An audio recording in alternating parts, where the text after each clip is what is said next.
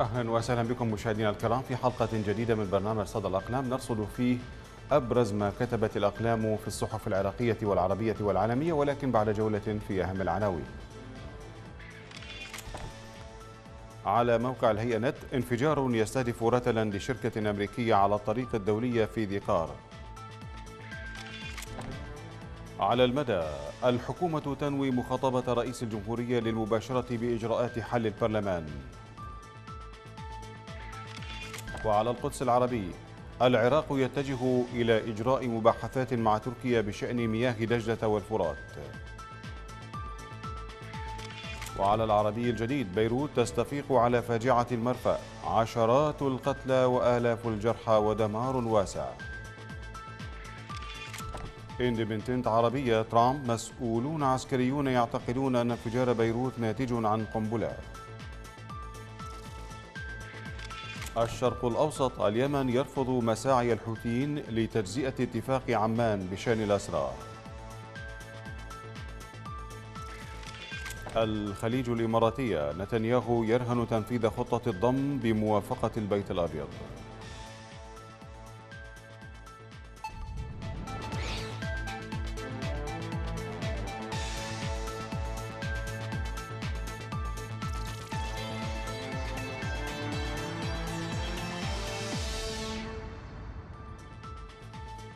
بكم من جديد. في صحيفة البصائر كتب الدكتور مثنى حارث الضاري عن الذكرى السابعة عشرة لصدور صحيفة البصائر. قائلا إنه عندما صدرت صحيفة البصائر في ظرف شاذ وعانت من تجربة صعبة وسعت إلى نصرة مظلوم وكشف ستر قاتل وسارق وناهب فالأمر يتجاوز كل ما تقدم من معان ويجعل رحلة المعاناة صناعة لحياة حقيقية وسعيا لبلوغ هدف يستحق ذلك. نتابع.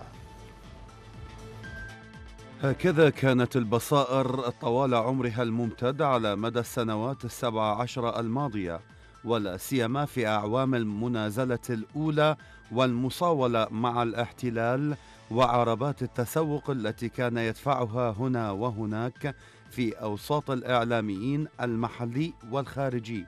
ويغدق عليها العطايا ويوفر لها العروض ويمنحها كل فرص الترويج الممكنة. فشتان بين صحف مروجة للاحتلال ومشروعه أو مهادنة له أو ساكتة على باطله وغافلة أو مغلفة لحق أهلها وصدق قضيتهم. وبين صحيفة لم تسكت ولم تهادن ولم تروج بل فعلت خلاف ذلك تماما. وبطريقة غير مواربة وأسلوب مباشر. ظنها بعضهم في بداية الأمر اندفاعا غير مبرر أو جهلا بمجريات الأمور وعزاها غيرهم إلى العاطفة المجردة والشبابية المندفعة. وهكذا كانت البصائر مبصرة منذ معاناة ولاداتها بلا حول ولا طول ولا قوة ساندة وبصيرة بواقعها ومآلاتها ومستبصرة لما سيكون وثاقبة النظر هي وصناعها وغالب كتابها بما ستنتهي إليه حبائل الاحتلال المسمى العملية السياسية. وقد مرت عليها أدوار عدة فتحت أبوابها لمن كتب فيها مؤمنا بفكرتها أو ببعض فكرتها ثم زور عنها لرأي بدا له أو فكرة اعتنقها أو شبهة انطلت عليه فحاد عن سياقها وولج مجاهل ما كان يحذر منه. وانتهى أخيرا إلى منزلة من يستعين به المسوقون. هنا أو هنالك. ويختتم دكتور مثنى الضاري بالقول إن صحيفة البصائر تمضي وهم يتراجعون وتتقدم ويتساقطون وتطاول حينما يتعب ويمل آخرون. وتستمر مسيرتها منصة لفكر مناهض. وخطابا مقاوما وإعلانا عن مشروع ونافذة أمل لشعب ورسالة طمأنينة لأمة ومتنفسا لأصوات ومعان وطنية وإرشيفا لتاريخ وجهاد وقاعدة معلومات لحقوق وانتهاكات وذكرى متجددة في كل عام تقمع رؤوسا أدمنت الخضوع ورقابا استكانت لمبررات الداخل وذرائع الخارج.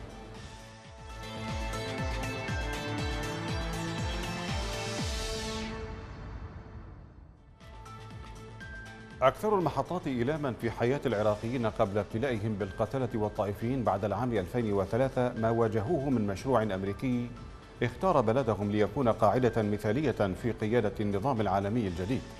بعد أن هيمن على الإدارة الأمريكية كبار منظري اليمين المتشدد في ظل حكم جورج بوش الابن الذي قاد غزو العراق تطبيقا لنظرية الصدمة والرعب. هذا ما أشار إليه ماجد السامرائي في مقاله بصحيفة العرب اللندنية. نطالع. ما شغل عقول زعماء الشر الأمريكان هو كيفية استثمار فرص إضعاف العراق بعد امتلاكه لجيش قوي بتسليح سوفيتي وثروة وتنمية واعدة وشعب متماسك. فتشاركت قوى اليمين الأمريكي مع زعيم النظام الإيراني الخميني في العمل على إطالة زمن الحرب العراقية الإيرانية من عام 80 وتسعمائة وألف إلى عام 88 وتسعمائة وألف التي عمل العراق على وقفها منذ عام 82 وتسعمائة وألف. كانت عاصفة الصحراء ليلة السابع عشر من يناير عام 91 وتسعمائة وألف تدريبا دمويا لما حصل بعدها في مارس 2003 كانت واقعة الحادي عشر من سبتمبر 2001 الفرصة الذهبية لتنفيذ مشروع الصدمة والترويع داخل مكاتب زعيمي اليمين رامسفيلد وكولين باول الذي أعجب بالمشروع حين قدمه له ضابط البحرية هارلان أولمان الذي كشف للصحافة الأمريكية في الأيام الأولى للاجتياح العسكري عن إعداده ومجموعة من الجنود الذين شاركوا في حرب عاصفة الصحراء عام 91 و900 وألف لإحداث الصدمة في صفوف الجنود والشعب العراقي بتنفيذ موجات القتل الجماعي والتعذيب في السجون من قبل مرتزقة الحرب الوسخة في كولومبيا وجنوب أفريقيا وتشيلي وفضيحة أبو غريب مثال واحد من مئات الأمثلة وقد اكتسبت الأدوات الإيرانية داخل الأجهزة الأمنية وخارجها تلك الخبرات لتواصل مشروع الرعب بحق العراقيين بشكل وقح. الكاتب يرى أن الصدمة في ميدانها العسكري حققت نتائجها في تدمير دولة العراق وبنيته التحتية. واستكمل بول بريمر سياسيا إقامة هيكل النظام الطائفي باستجلاب الجهلة والمغمورين فقط لأنهم رفعوا راية مظلومية الشيعة. التي تبددت وانكشفت بعد أعوام على يد طلائع شباب ثورة تشرين التي أسست عناصر الردع للمشروعين الأمريكي والإيراني وشكلت مقدمات النهضة العراقية الجديدة.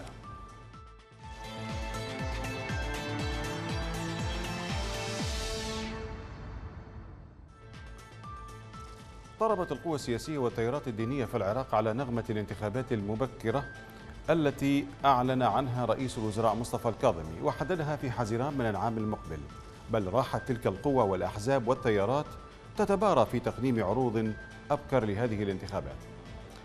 إياد الدليمي يرى في صحيفة العربي الجديد أن الانتخابات المبكرة لم تعد مطلب ثوار تشرين بقدر ما هي مطلب القوى السياسية والتيارات الدينية التي شعرت بأن الثورة سرقت منها امتيازات كثيرة.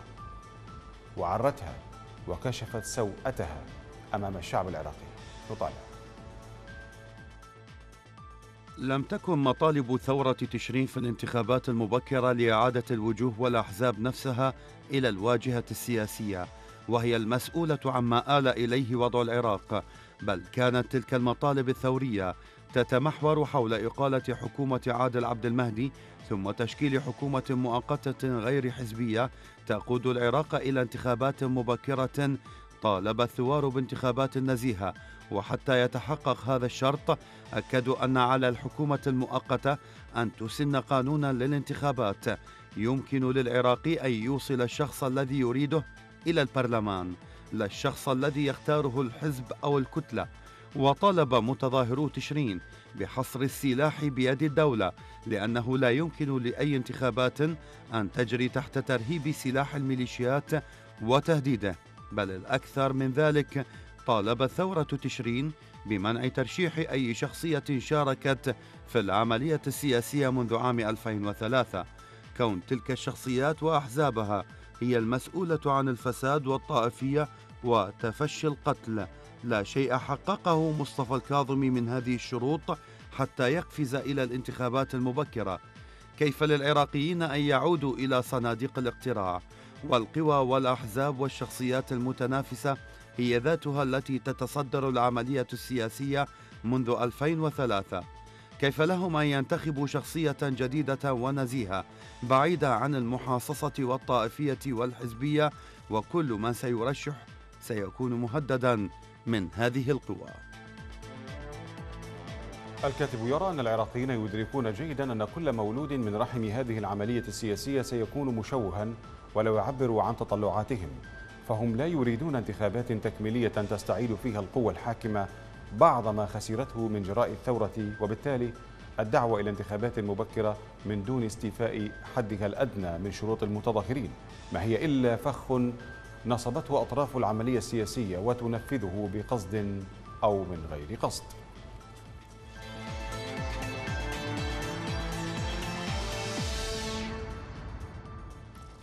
قال موقع بلومبرج الإخباري أن الانتخابات المبكرة في العراق لن تنقذ رئيس الوزراء مصطفى الكاظمي ولن تمنحه التفويض الذي يريده. وأضاف الموقع في تقرير كتبه وبيغوش إن أفضل نجاح للكاظمي الذي أصبح رئيسا للوزراء في السابع من أيار الماضي بعد مفاوضات استمرت خمسة شهور هو أن يسقط سريعا. ويرى الكاتب أن الطريقة الوحيدة لتنظيم السياسة العراقية هي مكنسة قوية من خلال تفويض شعبي.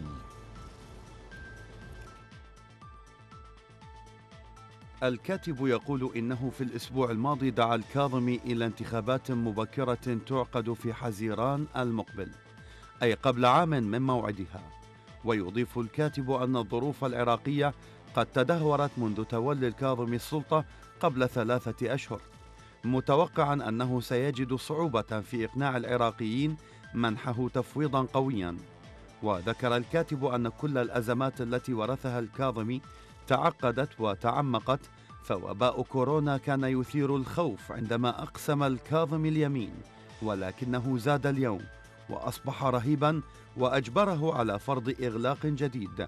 وكذلك الاقتصاد العراقي أصبح أكثر ضعفا كما يشير الكاتب إلى أن الميليشيات التي تدعمها إيران أصبحت أكثر جرأة فيما يتجذر الفساد في لحمة السياسية العراقية لكنه أصاب كل ملمح من ملامح الحياة في البلاد. وحتى الطقس كان أسوأ من ذي قبل إذ يواجه العراق أكثر مواسم الصيف حرارة حيث وصلت الحرارة الأسبوع الماضي إلى 53 درجة مئوية. ويضيف الكاتب أن التظاهرات على عدم توفر الكهرباء عادت مجددا وتحولت إلى مواجهات مع قوات الأمن وسقط فيها متظاهران الاثنين الماضي. ويرى الكاتب أن الأشهر العشر القادمة تمثل تحديات ضخمة للكاظمي أولها إقناع البرلمان كي يوافق على موعد مبكر للانتخابات.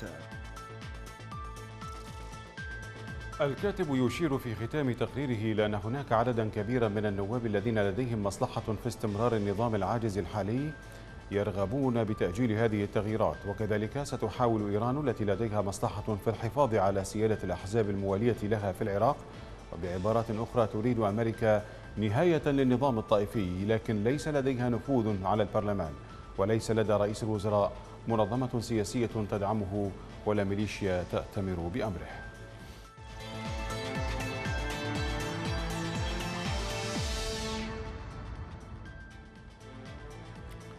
غريب هو التوقيت الذي أخرجت فيه صحيفة القبس الكويتية تقريرها الذي تحدثت فيه عن أدلة تثبت أن العراق قد مارس ابتزازا سياسيا على الكويت لغرض الحصول على مساعدات مالية أو استثمارات كويتية داخل العراق. ذلك لأنه لا يتوافق مع التوجهات الخليجية العلنية بالانفتاح على حكومة الكاظمي نظير كل ذلك حيث يرى الكاتب نظير الكندوري يتساءل في صحيفة القدس العربي هل يمثل هذا التقرير إيذانا بتغيير في توجهات دول الخليج من حكومة الكاظمي؟ نتابع. من يراقب السياسة العراقية لفترة ما بعد الاحتلال عام 2003 فإن التهم التي وجهتها الصحيفة للعراق من الممكن أن تكون صحيحة. ذلك لأن جميع الحكومات التي حكمت العراق خلال فترة السبع عشرة سنة الماضية كانت تعاني من انتشار واسع للفساد بين أعضائها. إضافة إلى الفساد المنتشر بشكل مخيف في جهاز الدولة العراقية بشكل عام. وجميعا نعلم القضية التي أثيرت حول بعض السياسيين العراقيين لقبولهم رشاوى من الجانب الكويتي لإعطاء شرعية لميناء مبارك الذي من شأنه تضيق الممرات البحرية المتجهة إلى العراق وكذلك الوقوف أمام محاولات تخصيص أموال لإنجاز ميناء الفاو الكبير. هذه الحادثة وغيرها من الحوادث لا تجعل المجتمع الدولي يثق بالمسؤولين العراقيين حينما يفكرون بتقديم المساعدات للعراق لأنهم يعرفون أنها لا تذهب إلى الأهداف التي رصدت لها تلك الأموال. إنما تجد طريقها لجيوب أولئك المسؤولين الفاسدين ومن المستغرب أن يأتي هذا التصرف الكويتي عبر السماح لصحفه بنشر مثل هذه الأمور رغم علمهم بالفساد الذي يلف المنظومة السياسية العراقية. منذ سنين طويلة. فهل يا ترى أن هذا التقرير هو محاولة لتبرير تنصلها من عهودها التي قطعتها هي ودول الخليج للولايات المتحدة بمساعدة العراق اقتصاديا في ظل حكومة الكاظمي؟ الكاتب يرى أن ما جاء في صحيفة القبس الكويتية لم يكن عفويا أو سبقا صحفيا إنما هو تعبير عن توجهات الحكومة الكويتية. ويمكننا القول إنه توجه خليجي عام إزاء العراق. وهذا ما يفسر لنا لماذا تم إلغاء زيارة الكاظمي للسعودية وعلى ما يبدو أن هذه الزيارة ستتأخر وربما تتأخر كثيراً.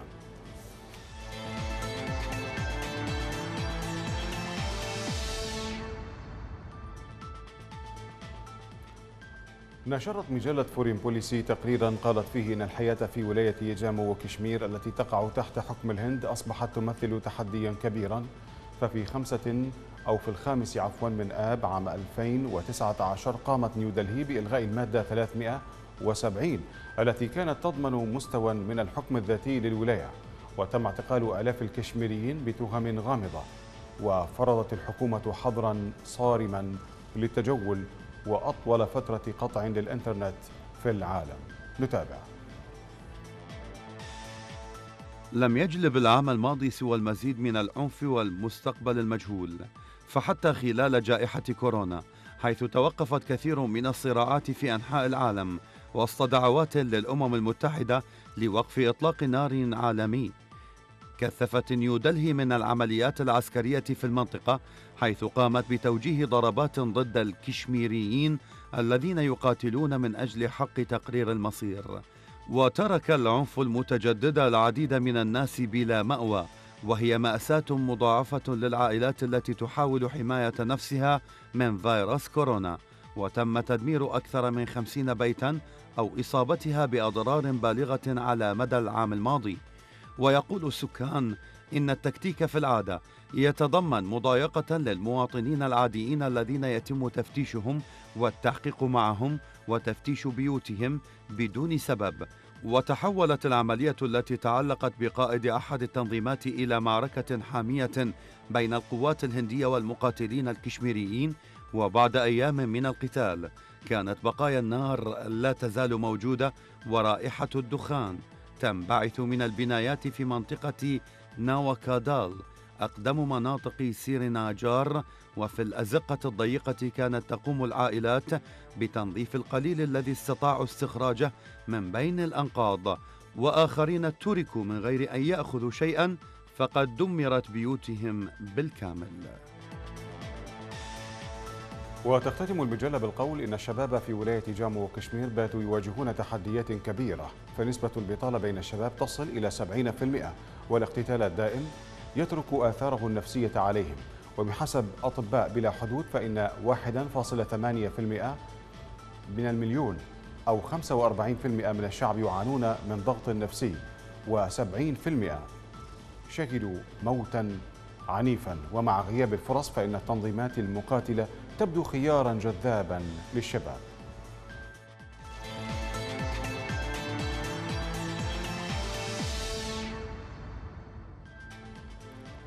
كشفت شركة فيرجين جالاكتيك عن تصميم طائرة ركاب أسرع من الصوت قادرة على الطيران بثلاثة أضعاف سرعة الصوت حيث يمكن أن تصل الطائرة من لندن إلى سيدني في خمس ساعات فقط أو إلى نيويورك في أقل من ساعتين. وقالت صحيفة البيان الإماراتية أن شركة فيرجن تعاونت مع صانع المحركات رولز رويس للعمل على هذا المفهوم الذي لا يزال في المراحل الأولى. وأشارت الصحيفة إلى أن الطائرة النفاثة ستحلق على ارتفاع 60 ألف قدم أي 18300 متر وهو ارتفاع أعلى بكثير من ذلك الذي تصل إليه طائرات الركاب الحالية. ولكن تتسع هذه الطائرة لعدد ركاب يتراوح ما بين 9 إلى 19 شخصا فقط. وأوضحت الصحيفة أن طائرة ماش 3 ستستهدف الطرق التجارية الحالية للمسافات الطويلة وستقلع وتهبط بشكل طبيعي في المطارات الحالية.